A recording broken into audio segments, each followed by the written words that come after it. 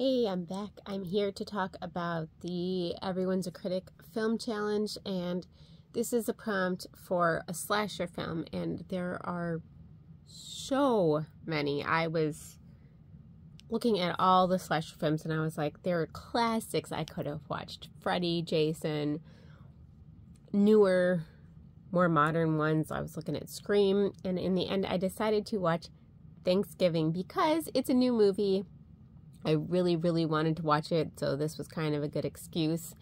And also, it kind of fit the bill as a slasher. And I, this was so, so anticipated. I did not get to see it when it first came out, and I was very disappointed. I wanted to go see it. Everyone was raving about it. Some people didn't like it.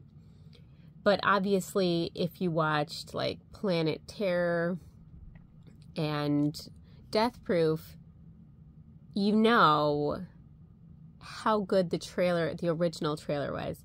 And so, because of that, I was like, okay, I've been waiting for years and years and years for this to be made into an actual movie, and I'm going to watch it. And let me tell you, I was not disappointed at all. I was so psyched to be watching this movie. The kills were good. The pacing was good. It was set up well. I know a lot of people really didn't like it or people were disappointed based on the trailer, but I loved all the stuff from the original trailer that did make it into the movie. I liked the Thanksgiving theme because there aren't that many horror movies that are based around Thanksgiving and they're especially not slasher movies. So that was really fun for me. I really enjoyed finding out who the killer was. Uh, it was it was not like the biggest secret ever, but it was really cool to figure that out.